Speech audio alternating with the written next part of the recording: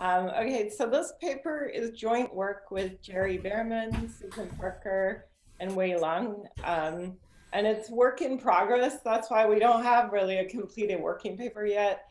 So these are kind of recent results and we very much value your feedback. Um, let's see, the goals of this paper um, is to evaluate, well, the Prospera program is basically the Progresa program, you know, and there have been a lot of papers written about the Progresa program in Mexico. Um, I mean, I started working on this project like more than 20 years ago because um, it started in 1998 when they did the original RCT. Um, and the name of the program has changed. Like with every president, they basically give it a new name. And I think the current name is actually something different. but it was called Prospera um, during the time period of our data collection. And there were a lot of studies of the effect of this conditional cash transfer program on schooling, like school enrollment, um, educational attainment, you know, studies that demonstrated pretty strong effects, but we have not been able to study the effects on learning yet. So, um, and the reason is because we didn't have test score data, you know, from the schools. And so in this paper, that's the main question that we're trying to address. Um, but we also want to just understand the effects on enrollment and, and grade progression and educational attainment as well, because it's been, you know, more than 20 years. And so a lot of things can change over time. Um, so what we do is we develop and estimate a dynamic model of student enrollment, school choice, um, academic achievement, and grade progression. And the achievement is measured by standardized tests in math and Spanish.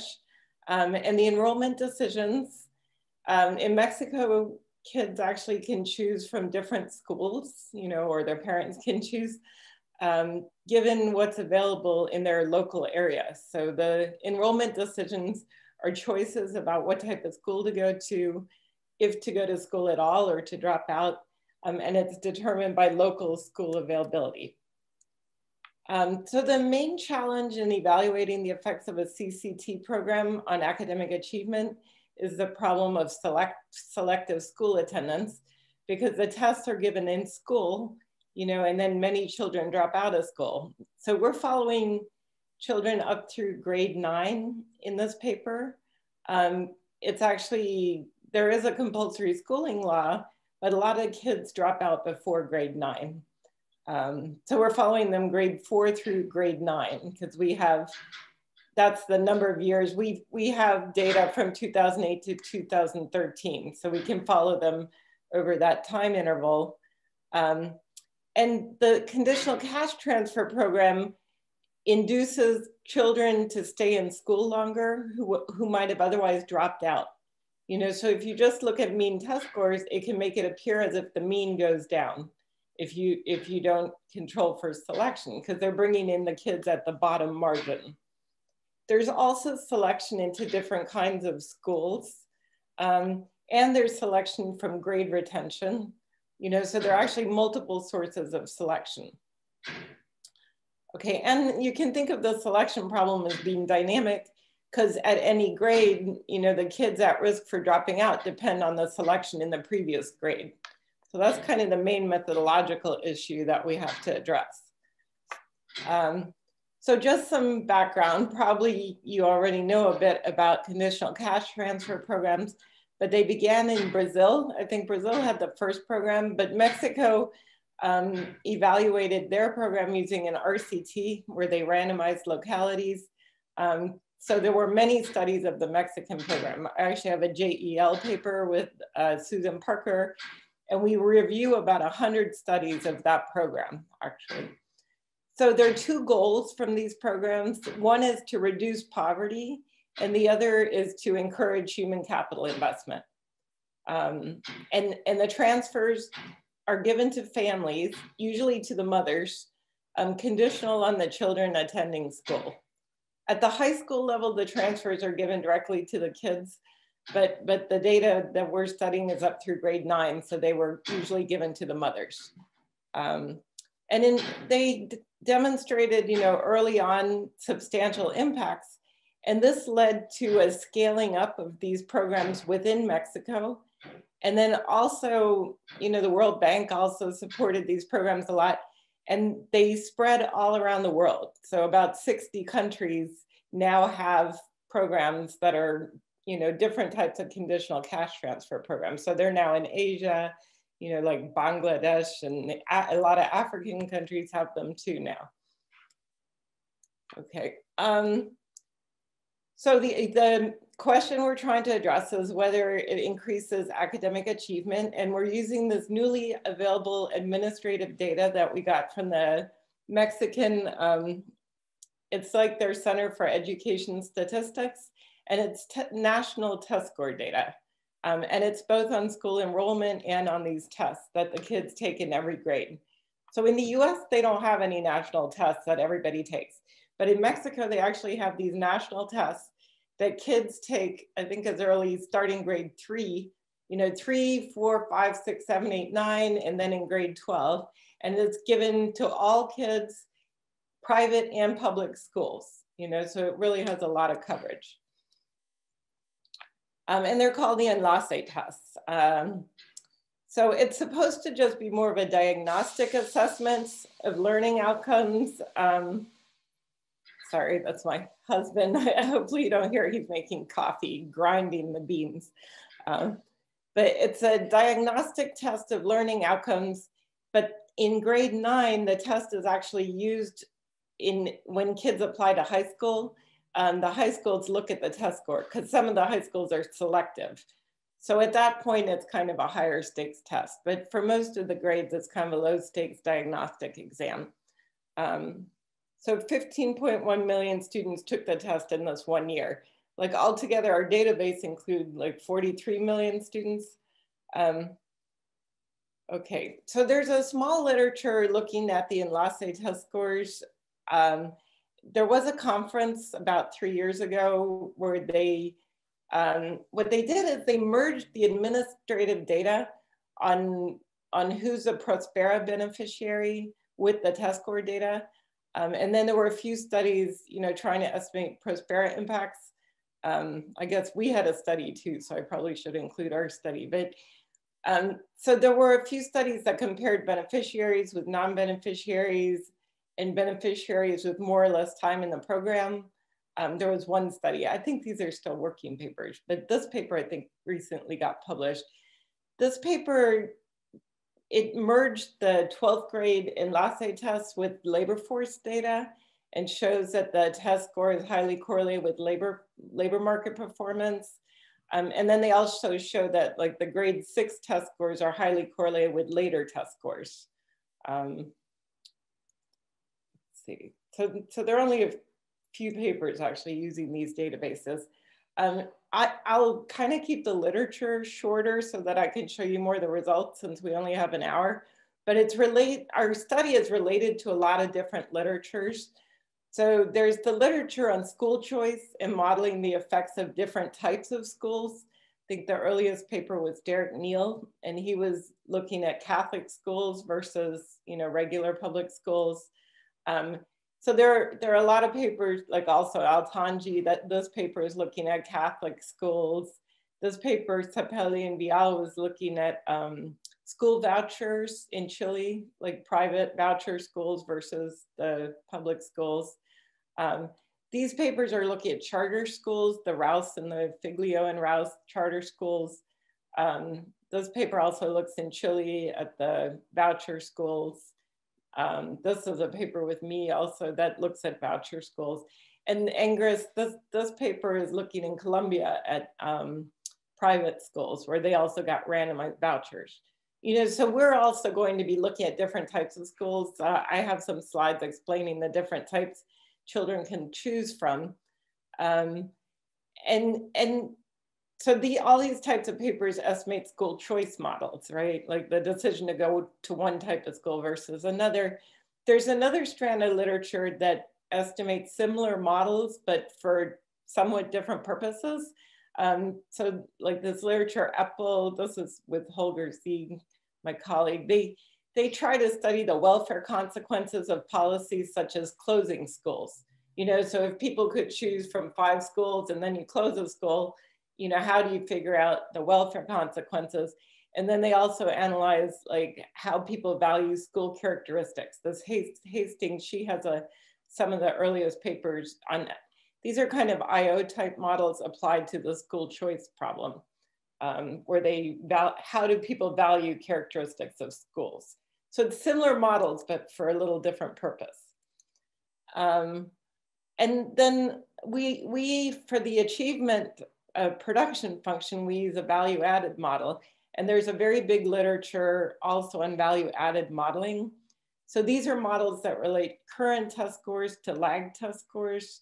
Um, and the models, you can give these models a structural interpretation as an educational production function. And one of the earliest papers to discuss this is Boardman and Murnane. You know, but under certain assumptions on the production function coefficients, I mean, the most general model would, would just write current achievement as a function of the entire history of educational and family inputs as well as endowments.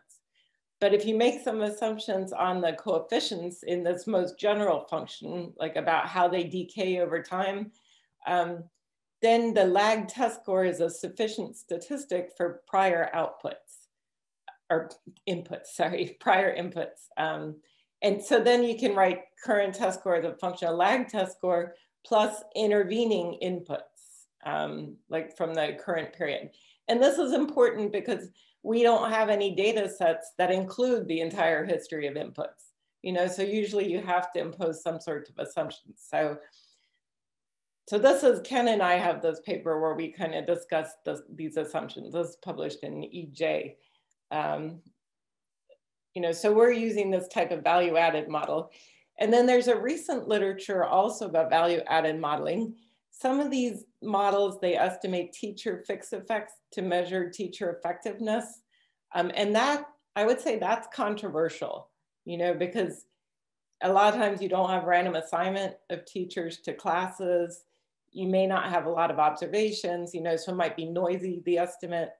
But, but these models, interestingly, they're actually used um, by schools. Like they have some consulting firms that sell the statistical software to schools and then schools can figure out which teacher is effective and which one's not. And, and they actually use them for hiring and firing decisions sometimes. So, so these can be kind of high stakes. So there are a bunch of papers. There are even some papers where they had random assignment of teachers to classes and then they could compare it with value added. And, and they, they actually find that they, they're not bad. So there's, there's some papers, but there are also some papers um, I think Jesse Rothstein and um, Hanushek have been more critical about using these teacher fixed effect models, especially Rothstein has been very critical. Um, okay, and then Raj Chetty shows that these test score gains that you can estimate with value added models are very predictive of adult outcomes. Um, he also finds that if you have a good teacher that that really can affect your labor market outcomes later. Um, but the thing that we do that's a little different is we do these value added models in different grades and then link it across multiple ages and grades to analyze the longer term schooling um, effects of being in this Prospera program. Uh, okay, so just to give you a little background about why we set up the model the way we did. So Mexico has primary school, which goes through grade six lower secondary school, which is grade seven through nine, um, and then high school, which is grades 10 to 12. And education is compulsory up to grade nine, you know, but we observe a lot of kids dropping out and working prior to finishing grade nine. Um, they have a standardized curriculum content. Uh, it doesn't mean that all states teach exactly the same thing, uh, but, but they do have a, a, national guideline for what they're supposed to teach. And, and the tests we're looking at are curriculum-based tests. So every year it's supposed to be testing the curriculum in, in that grade. Um, so at the primary level, almost all kids go to general school, but there is also an indigenous option. So indigenous, they're kind of like American Indians in the US, you know, they're um, more of an Indian population. Um, and in Mexico, those schools are bilingual. because they speak a lot of different languages. So one of the challenges with Indigenous is that they speak, I think, like five different languages. So, um, so we model the choice when there's an Indigenous option available, we model the choice to either go to regular or Indigenous school. And then in secondary school, there are three types of schools, which is general school, technical, which is kind of vocational, and then they also have this type of school called telesecondary. Um, and this is very interesting because Mexico has had that type of school since 1968. And it's a distance learning school, but it, kids actually go to a school and then there is a teacher there that guides them in their studies, but they see the lectures over video. So it's like over television, you know, so they have very good teachers delivering the lectures, but the teachers are from Mexico City and the, and the kids are seeing recorded lectures. I, I think they might be real time actually, like over the television that every day they, well, they're recorded, but they show every day the lecture for that day. Um, so they do go to school, you know, somebody's taking attendance and everything, but, and there is one teacher, I think, that kind of guides their homework and shows the videos, um, but it's a different type of, of learning. And then they have high schools, um, and high schools are a little bit different organization. Um, some are affiliated with universities. Then the university system is kind of similar to the US. Um, and they have some rules about child labor. Uh, you know, people under 14 years of age are not supposed to be working and then there's a restriction on how many hours they can work for people 14 to 16. But again, it's not very well enforced. You know, if you look at the census data, you see plenty of kids. I think like 8% of kids about age 12 were reporting working for pay. So it's just not that well enforced. I mean, it's difficult to enforce. So in this study, we're using multiple data sources. We have this test score data that I told you about, the Enlace data, then they also gave a random, for a random sample of schools in every year, they collected survey data. And if the school was sampled, they collected data from the students, parents, teachers, and principals. You know, so, and that's about 3.4 million students filled out the surveys. So we're, we're focusing on the students for which we have surveys because then we know a lot about their family background. Um, then we have geocode data that we did ourselves to figure out the distances to different types of schools. Um, we have administrative data on the Prospera beneficiary status. So it's not self-reported. It's because, um, you know, some of the young kids may not know if their parents are getting Prospera or not. So that's, I think administrative is better. Then we have school characteristics from a school census and then we have some labor market data um, that we use to figure out wage offers that the children could, like approximately the wage they would earn if they were not in school. Um, and in this paper, we're focusing on fourth graders in 2008, and we follow them up through grade nine. You know, if they fail a class, then we may, because we follow them to 2013. You know, so they could fail, and then we'd see them up to grade eight or something if they failed. Um, and we focus on public schools because very few of the Prospera students attend private schools. Um, and Petra, for the administrative test score data, do you have that linked to teachers so you can do the the teacher value added type progression? We do have it linked to teachers, although in this paper we're not doing that, but um, we do want to do, we have tried it out, it does work. Um, you know, in, in middle school, they have multiple teachers and so we can't always link which teacher they had in middle school. Like we know what grade the teacher teaches. In primary school, when they have one teacher, we can link everybody to what teacher they had. Yeah. Yeah, it could be that some of the school types are better because the teachers are better. We have been looking at the characteristics for different types of schools. Hi, Petra. Uh, I was wondering, so you could see uh, school entries and exit, right? Because you have the, the universe of schools. Are you going to think on that margin, like when, when parents have more cash and they become more picky, like uh, that could make competition more severe and schools could improve? Like, um, do you take that into account in this analysis or? No, but we can see that. Um, Right now, we're just using this, well, there, there wasn't all that much. We did look at the entry. You know, there wasn't a lot of entry in terms of the numbers of schools changing over time.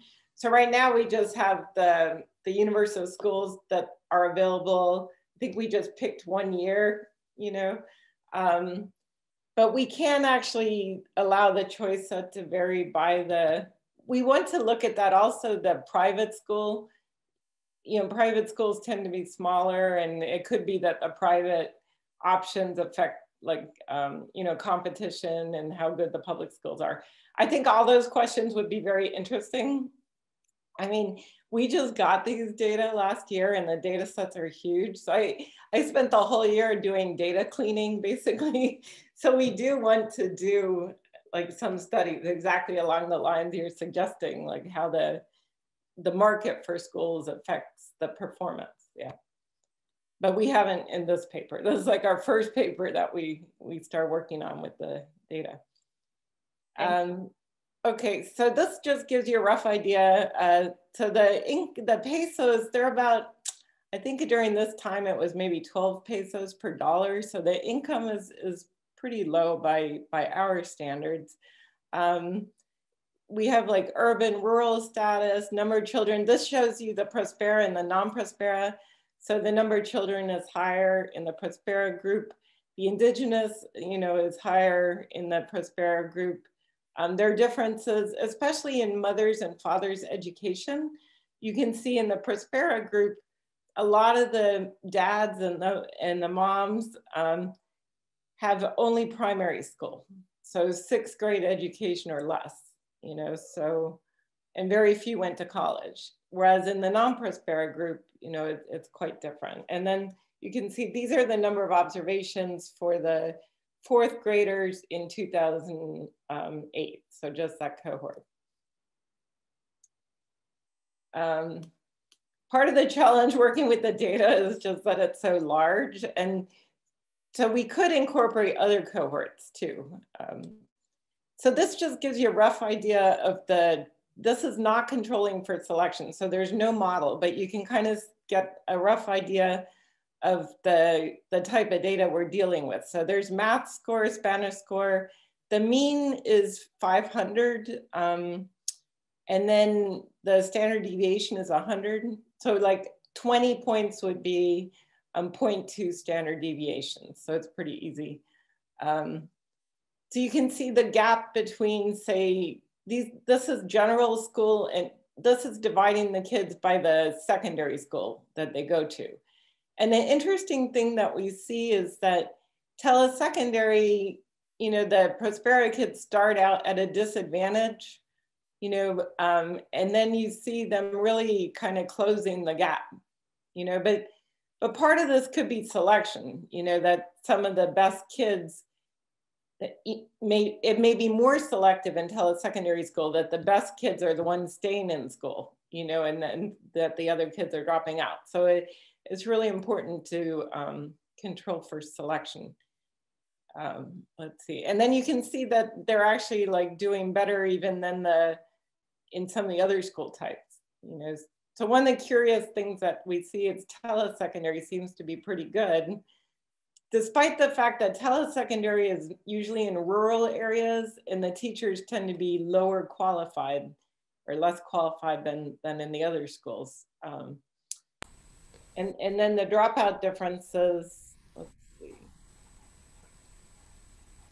Here, the gap in dropout, you can see um, that the dropout's higher for the for the Prospera group. P equals one is always Prospera, and then P equals zero is not.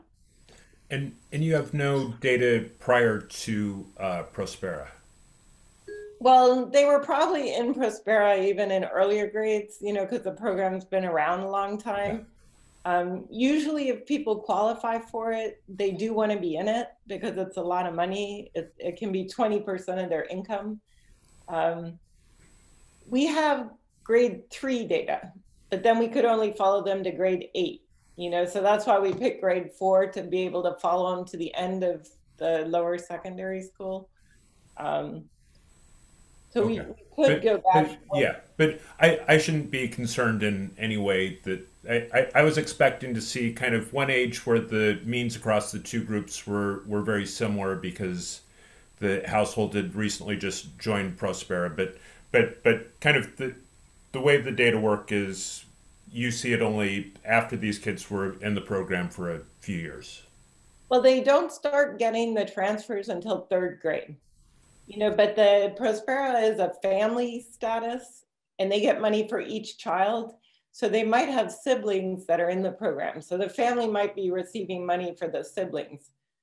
But that one child would not start getting transfers until third grade. And in Mexico, attendance is almost universal up through sixth grade. Um, so the third grade through sixth grade transfers are almost just transfers. You know, it doesn't really induce that much difference in enrollment because most people are enrolling.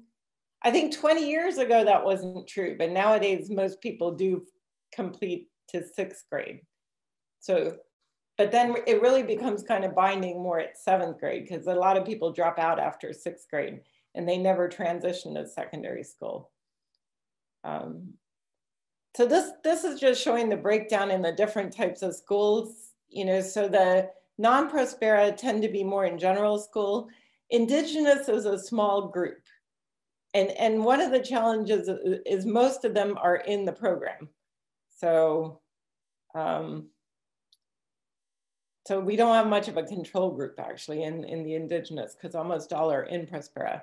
But then you can also see here the telesecondary, a lot of the Prospera kids are in telesecondary, you know, more than, so the, if you look at the breakdown, non-Prospera tend to go more to general school and Prospera, you know, a lot of them actually didn't, because the poorest people tend to live in more rural areas. So that's, that's partly, um, they tend to be in telesecondary more let's see, this is grade retention. So in, in primary school, there's some grade retention. In secondary school, there's less. And I think probably a lot of the kids that are being retained here end up dropping out, you know, so, and we see less, we do control for grade retention, but it's mainly a phenomenon in the earlier grades.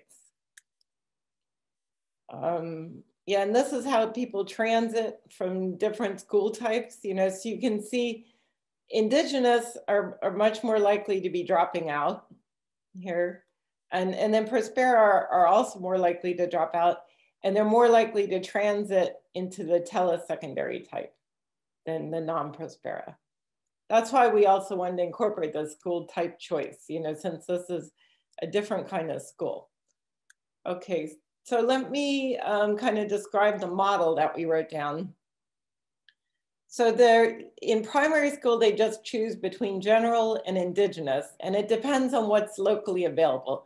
So right now our local is 20 kilometers, although I think this is maybe a little big, like we, we were gonna check sensitivity to smaller values, but that's how we define the local schools available. And then after grade six, they choose from general school, telesecondary or technical also depending on availability. Um, let's see, and then the notation, this DIJA is individual I enrolls, enrolled in school type J at age A. Um, and then it equals zero if they don't enroll in school at all. And then we also have like whether they repeated the grade and whether they get Prospera. So that's the notation. And then Another thing we did is we wanted to allow for some treatment effect heterogeneity, you know, not that all kids are affected the same way. And we want to see, you know, is it the kids that are kind of the most poor that are getting the biggest benefit? That was, so what we did is we estimated propensity scores because in, in the treatment effect literature, it's very common to have the treatment effect depend on the propensity score, where the propensity score is probability of being a Prospera beneficiary. Um, and so the main eligibility criteria are household assets. And we have a lot of household assets in our data set. So we use that in constructing the propensity score model. And we can predict pretty well who's in the program or not. Um, we also excluded from our analysis from the beginning a small percentage of the sample for which propensity scores are close to zero. Because there's some kids, like if both your parents went to college, you know, you're pretty much totally different from the Prospera kids, you know, because it's just, I mean, we're going to check the sensitivity to exclude you or not, but you can think of this as kind of this common support that there's some that are just not comparable at all and you may not want to include it, kind of like not including the private schools, you know. Um, okay, so we do, we report the results separately by propensity score. And we included in the model some unobserved heterogeneity, which is in the form of discrete unobserved types that follow a multinomial distribution. So it's like right now we have four types. So this is to allow for unobserved in, like kind of endowment effects in the that, and they can enter anywhere in the model. Um, so, so can I ask one thing? So, so P is is not a choice variable itself in the sense there's no kind of stigma or anything getting into this program. It's not a choice. So once you you're eligible for the program, then I guess it's a probability to enroll, or you automatically will be enrolled in this in this program. Well, nowadays, at first, people didn't know about the program, you know, so there were some people that didn't sign up. I don't think there's much of a stigma, or if there is a stigma, I think the benefits of the program are so large in terms of money that, um, you know, most people that are eligible sign up. Like at first, they didn't know about it, so we had some people that just didn't even know the program existed, but now the program's been running for 25 years. Um, so I think if if people qualified, they would want to get it. And the qualification is determined every year. So no, they don't check on them every year. I think after three years they review it, but it's pretty rare to get kicked off. Um, if if your circumstances got a lot better, you know, they they'll put you onto like a modified lower form of the program. I think a little less generous. Um, but it was every three years they kind of review your eligibility. So. But but I can't run down my assets to qualify for the program. Well, the things that they use for qualification, they're like if you have a dirt floor in your house, or if you have a car. So I guess if you got rid of your car, that might change your status. Um, there were and like number of dependents per room in your house things like that. It's kind of, it's more of an asset-based measure and not so much an income-based measure because it's hard to measure income for some people, especially in rural areas where they do agricultural work. So. Uh, just one, one add-on. So in terms of modeling, we treat that Prospera as a time invariant status variable. So it's not a choice variable. Like you're born, like in the model, you're born with that, uh, with Prospera or without Prospera, and uh, carry on to the end of the model. There's no choice on that. Yeah, I think we couldn't really model that choice anyways to, I mean, I, people, I haven't seen the recent data, but I remember, you know, people that knew about the program were definitely interested in getting it because it increased their income by a lot. But they didn't always comply with all the, you know, the school enrollment because if you don't send, they verify attendance. So, um, and you have to send your child 85% a day. So if you don't send them, you know, then you wouldn't get the transfer for that child, but you could still get it for other kids that are attending school. That's just one more. So is there possible any sort of effects on parental labor supply because you're getting this, you know, sort of extra cash? Is that something that you will capture in the model or something that's going to be left out? Um, well, there were some studies uh, that showed that mothers were working more because child labor, ch- children were working less, and that mothers were actually working more. Um, these, I think Susan Parker had a paper showing that. In this paper, we're not really modeling parent labor supply. We're just taking as given if the mother works or if the father works. Um, we don't condition on income. Um, well, they it could affect your income, you know, because it gives you a lot of money, um, like 20% income increase in income. So Yeah, actually, I want to do these results without conditioning on income. Well, we don't have a fine measure of income. We have um, brackets. You know, we well, I showed you the brackets in in that table. Um, I guess so that's the one thing that I think is endogenous family income because it can really, it could also affect mothers working, but yeah, because you mentioned about this edu education production function of, of skills. And I guess in that production function, um, you know, school is going to be in there, but the parental inputs in terms of, you know, parental labor supply and all the others are going to be fi held fixed or you know, right. some sort of constant there. Yeah, we have mom being at home or not.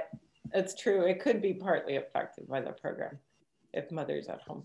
Yeah, we, we can examine like if we take some of those out, if it changes anything.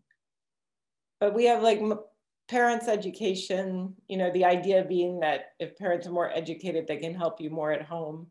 Um, okay so the the model so we have all those family background. We also know if the household speaks spanish at home or some other language which is important for the indigenous choice we have minimum distances needed to travel to different school types which we computed with the geocode data um, and then the time varying elements are like whether you attended school last year, because we assume if you drop out, you don't come back. We, we rarely assume kids coming back. So that's kind of simplification that's consistent with the data for the most part. Um, and then we have all the achievement test score data. And then we, we ask, we don't have wages in the test score database, but we use the 2010 Mexican census to estimate a wage offer.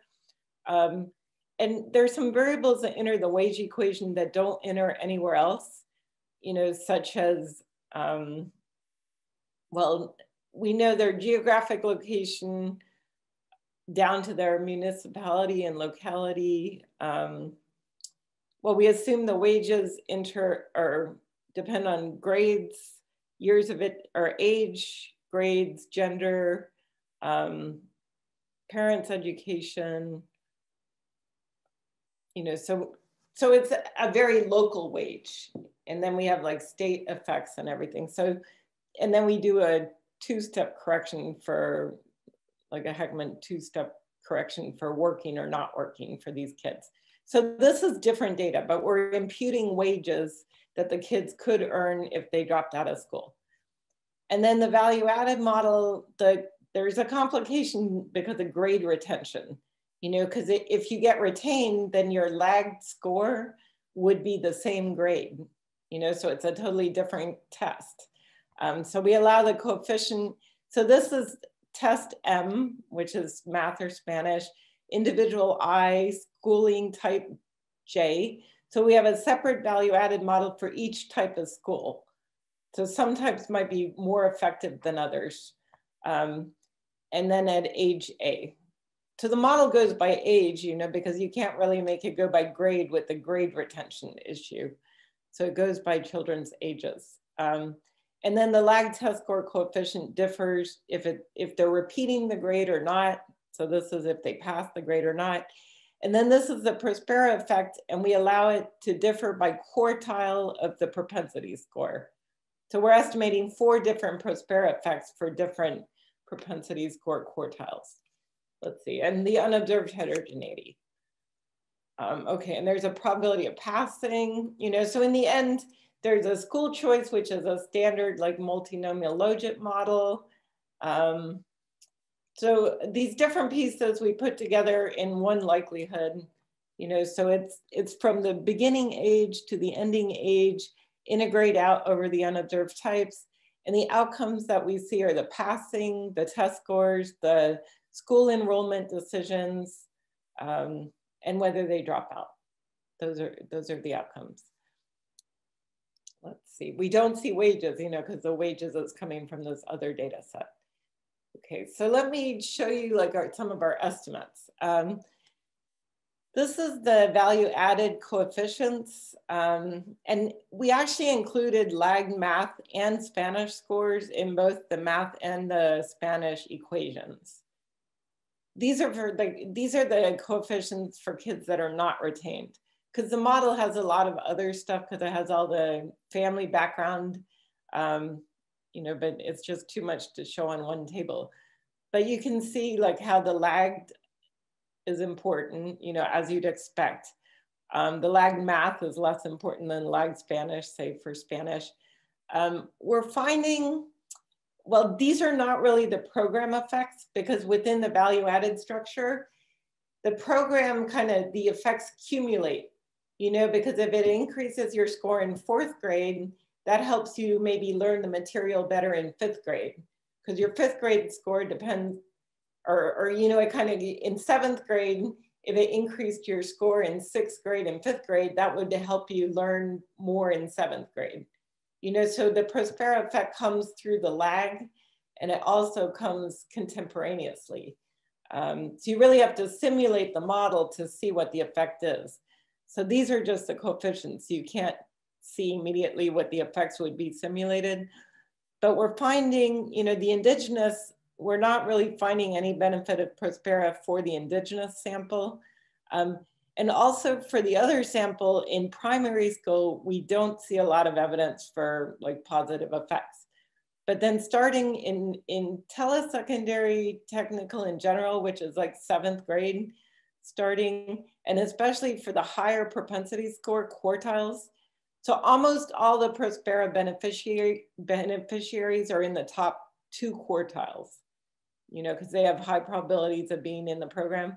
We see positive effects. I mean, we'll simulate based on these coefficients. You can see um, this is the school choice parameter estimates. Uh, you know, so which, so like the Prospera, the top quartiles are much more likely to choose telesecondary. So the top quartiles tend to be the poorest kids.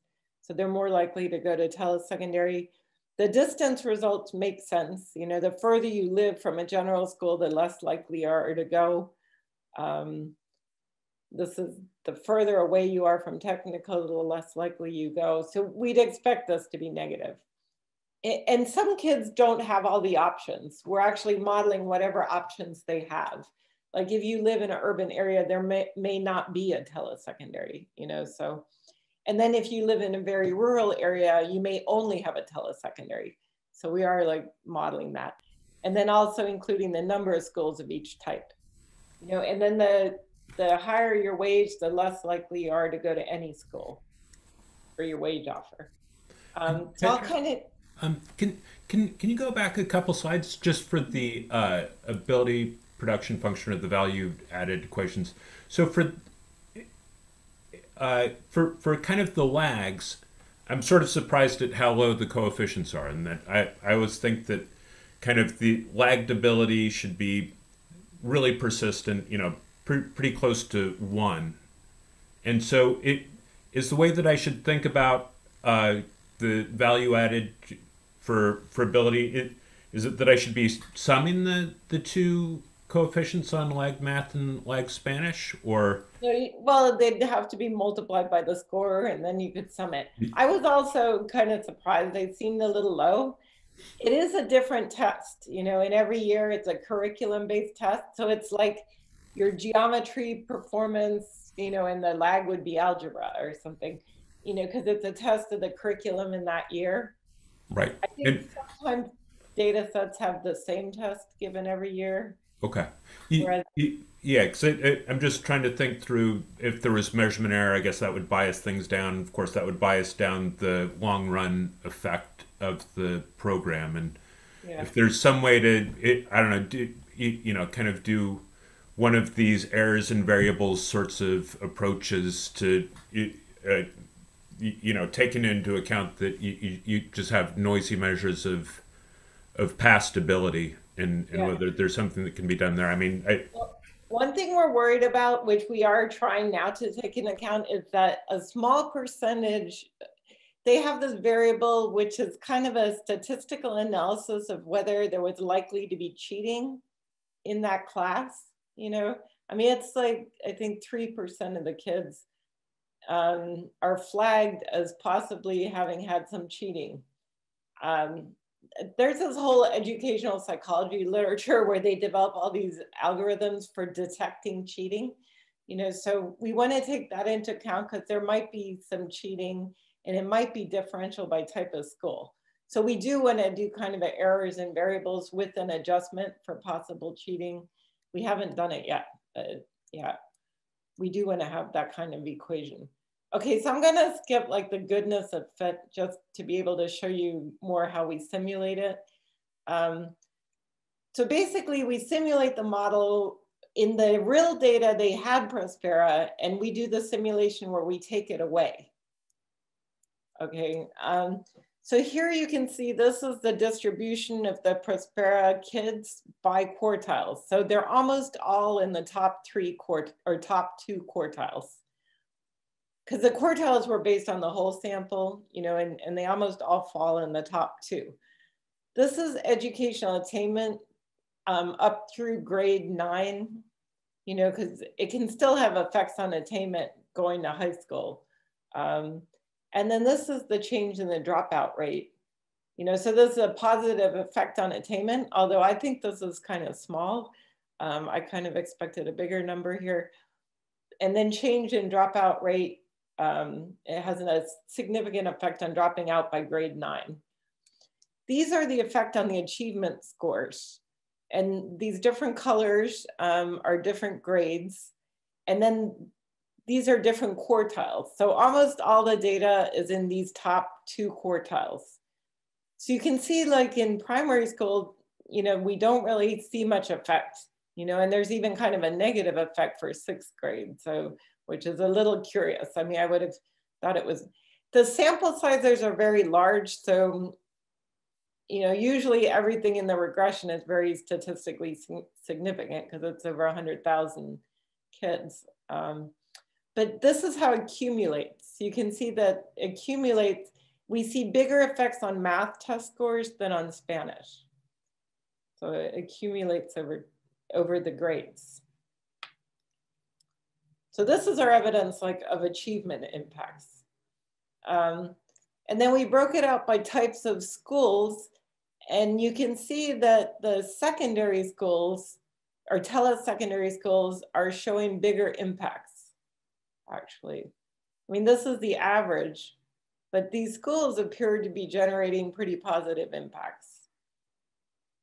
So this now controls for selection. I mean, you, you kind of saw earlier that it was like unbelievably large benefits, um, but those, those previous numbers were not controlling for selection. And this, this now controls for selection.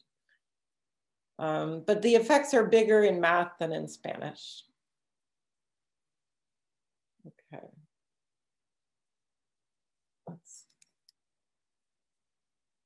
Well, I mean, we showed these, well, we, we told the, one of the former subsecretaries of education, he's kind of skeptical that these telesecondaries, there were a few papers finding a lot of benefits from these types of distance learning schools. And there was actually one dissertation from a grad student in Northwestern a few years ago analyzing how expansion of telesecondary is correlated with increase in wages or labor market benefits. Um, and she found a lot of benefits, you know, but the, I must say when we told the subsecretary of, of high school education, he's a friend of, of Jere's, um, Miguel Székely, he was kind of skeptical that these telesecondary schools would be this good. So that's partly why we're, we want to study a little bit more cheating just to make sure whether the cheating rates could be different in the different types of schools. So that's what we're working on that now, actually.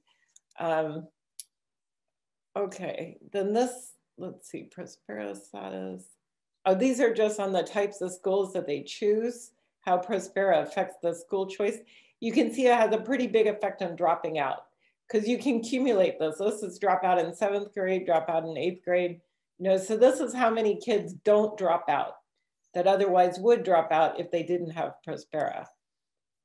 Um, then I looked at some school engagement variables, you know, to see uh, the students report how many hours they study and whether they pay attention in class and whether they participate.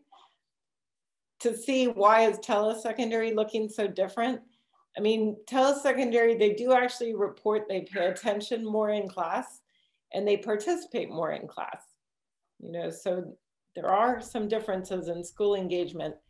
Actually, I didn't mention, but the technical schools also look better than the general schools um, in terms of having impacts. Technical and telesecondary are better than general, which is kind of the opposite. I'm thinking Mexico, they think the general schools are the best.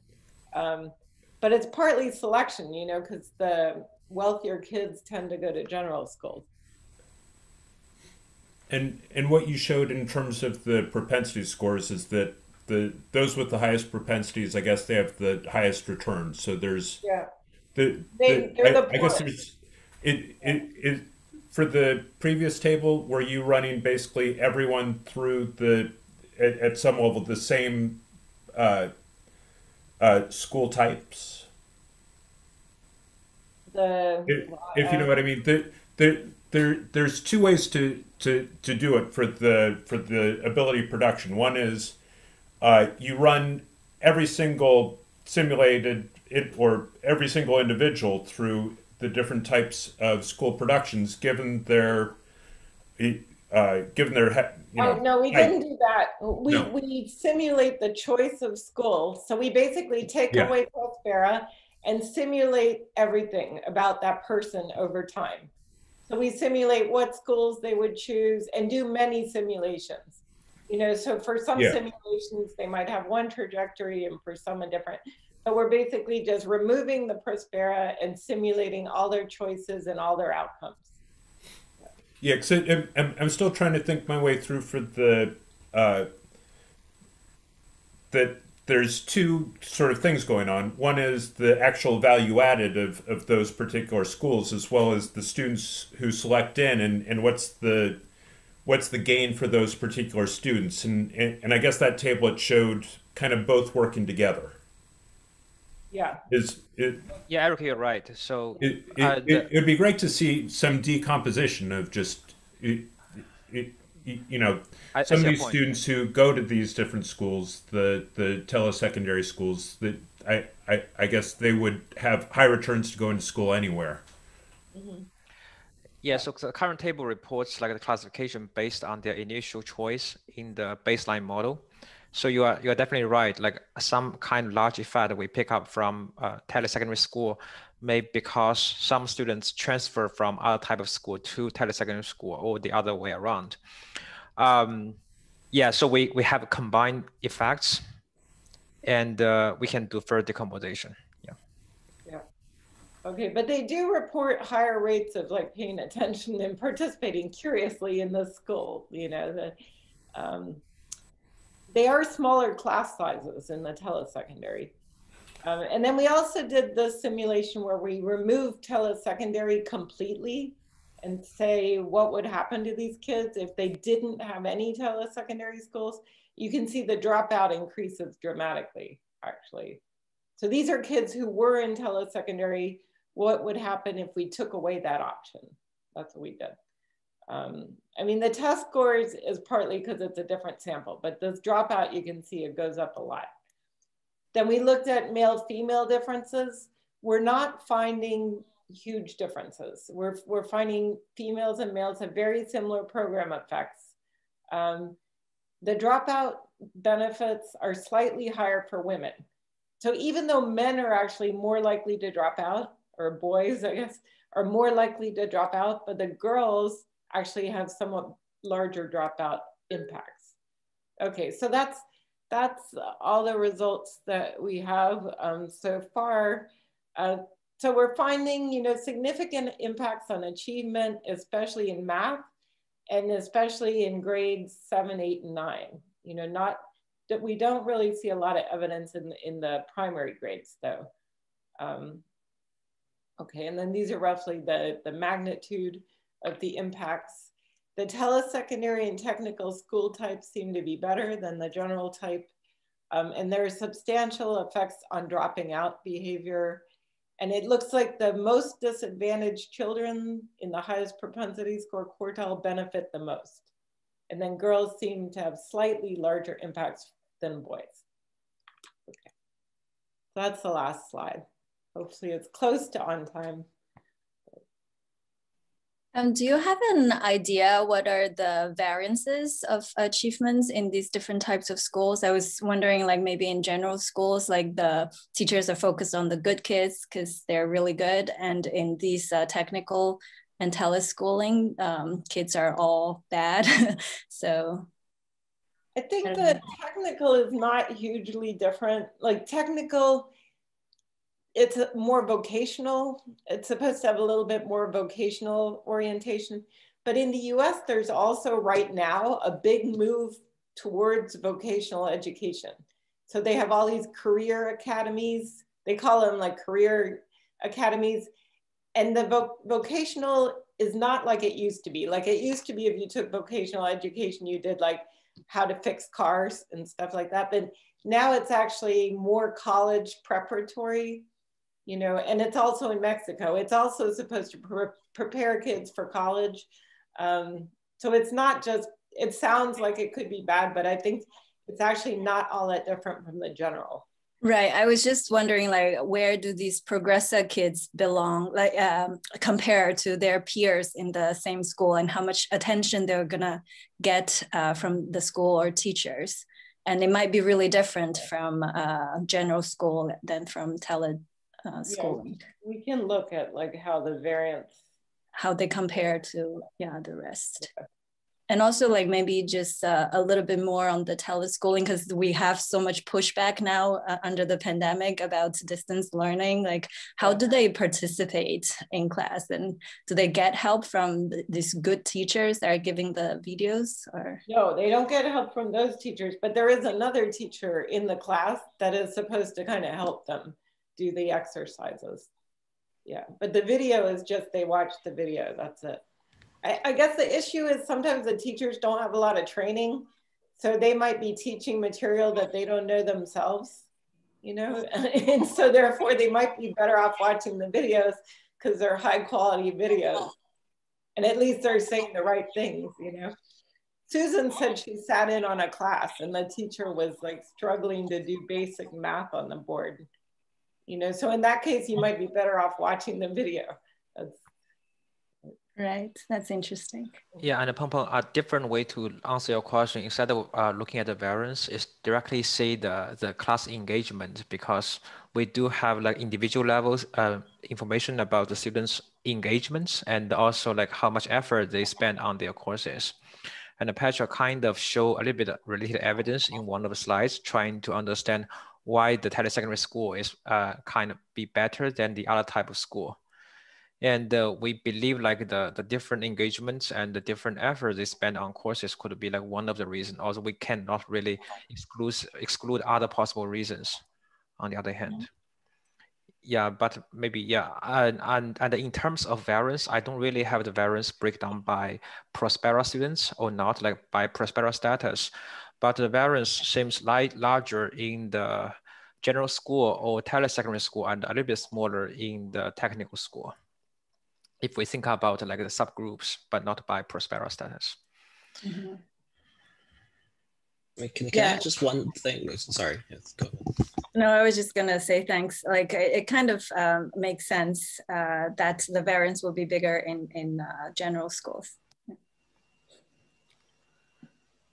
So just when when you model the the selection into different type of schools and because you have the production function and schools are directly like inputs to the production function um, do you need i guess you need some exclusion restrictions when you model the choices and, and if so what are the the instruments that, that you use to that affecting the school choices but not directly affecting the, the, the skill accumulation? We use like the distance we're using the distance between the primary school and the secondary school. We're assuming that people live near their primary school because we don't know their exact home address, you know, but then we were, but primary schools are much more prevalent. You know, people usually live close to their primary school. Right. But then to go to secondary, sometimes it could be quite a distance and they don't have busing. Uh-huh. Like we have school buses and stuff. They usually you have to find your own transportation. Right, right. Um, so that's one exclusion restriction, and then also like the number of schools of each type within your availability. Yeah. Right, right. Um, that basically you have to, I guess you somehow assume the location is, is exogenous in the sense that where you live. Yeah, that's true. And then we excluded, there was a small fraction of kids that moved state to state, you know, where they're not in the same place. So we excluded them because we would know the distance between like, because we're doing primary to secondary distance. I mean, I have to confess, when I saw the title, I thought there's RCT kind of a component in this because I, I guess this is a nationwide program. There's no kind of randomized control component in it. It just it was only the er early rural program, which ran for the RCT ran for 18 months. Yeah, and then okay. even the program after that, when the, when it wasn't nationwide, we did it like using matching. There was no right. RCT like in the urban areas. Yeah, and now it's pretty much nationwide. What's the reason not to you know, write, a, write a paper about the long run effects of using those RCT, the early waves? Is it because of data? You don't have test score for those cohorts or?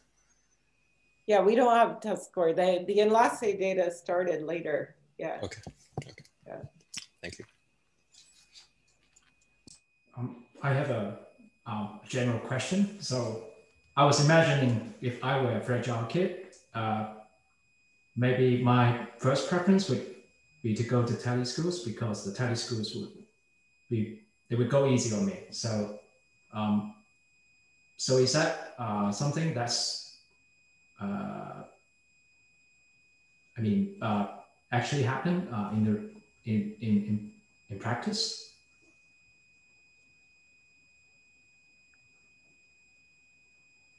You mean that the kids well, I mean, I guess we do try to control for selection based on lag test score into different types of schools. Um, yeah, I think part of this question has been controlled by including the test score uh, in your school choices function.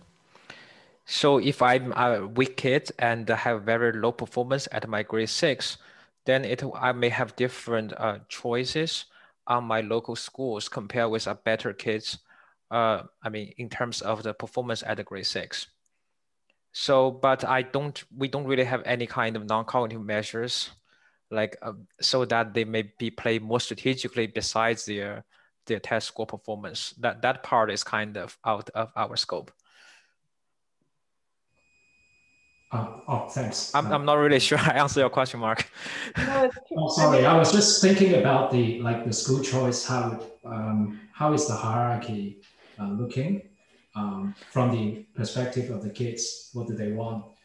Whether they like to um, go to the general school, uh, maybe maybe they don't want to have um, high intensity homework and something like that. So um, yeah, but, but it's just a, like a peripheral question.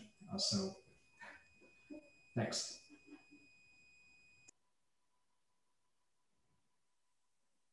Yeah, we did try to allow that. Like kids with low test scores may choose a different type of school because they want like a less rigorous school or. Yeah. Yep. But dis- the literature on school choice, like distance, is always one of the most important variables. I mean, especially if they have to walk long distances. I mean, I saw one paper recently that argued distance is more important for girls than for boys because of like safety issues getting to school. No. So on average, how um, what's the commuting commuting time uh, for those kids?